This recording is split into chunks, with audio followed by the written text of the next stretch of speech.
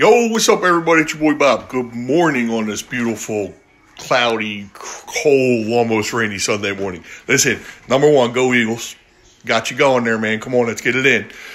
Second of all, I am going to make, yes, that's right, I am going to make sausage gravy and biscuits. But it's not going to be Bob's regular sausage gravy and biscuits.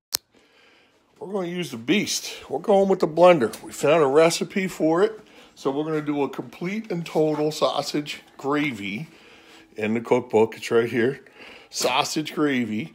I'm going to use our Rockcrok in the microwave. We're going to cook up the sausage. I'm going to get the ingredients going in a blender. That's the mix and chop for the sausage, right? I'm going to get this going. As soon as I get everything in there and start cooking, I'm going to come back live again. We're going to show it to you, and then we're going to come back live a third time to show you how it looks when the biscuits are done. I'm telling you, if this works out nice, man, I'm going to uh, it's Christmas presents all around. It's all I'm saying.